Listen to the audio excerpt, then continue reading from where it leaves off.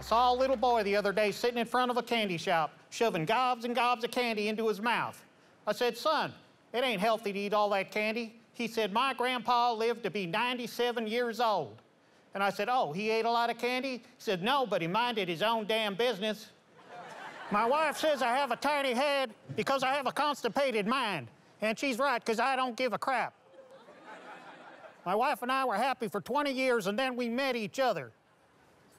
The other day, she showed me a magazine article that said women who carry some extra weight No, live a lot longer than men who mention it. Oh, you got Now, I'm getting old. I'm getting You're a old terrible now. person. Give it back. So now, Oh, okay. There. This way, sir. This way. Right this way. Mitzi, come and help me. Judges, you gonged. That bothers me. Yes, that it bothers does. me.